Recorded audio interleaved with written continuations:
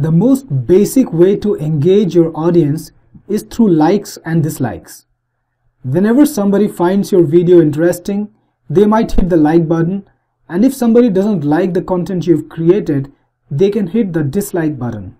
The idea is to get user votes for your content and use them to give good content a lift. That's why more likes will result in better rankings. The more likes you get, the better your video will rank against competition.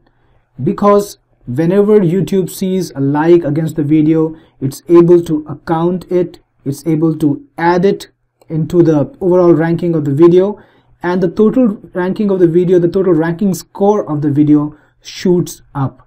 So as the number of likes increase and the likes are organic and real, YouTube will escalate the video, rank it higher and higher for the keywords that it's ranking for. And I want to tell you this, which is very interesting. Dislikes are not bad either. So if your video is receiving a dislike or has received some dislikes, don't panic. YouTube knows that every video created will be appreciated by some people and some people will hate it, no matter how good your content is. So don't worry even if you receive a dislike because that won't hurt your rankings. In fact, it tells Google that your content has an impact on people, whether it arouses positive emotions or negative, that's not really very relevant unless you have too many dislikes, much more than the likes that you have. If the ratio of the likes and the dislikes is in balance, you will not be hurt and your video will actually rank better. But I want to warn you here, you should get only real likes and dislikes.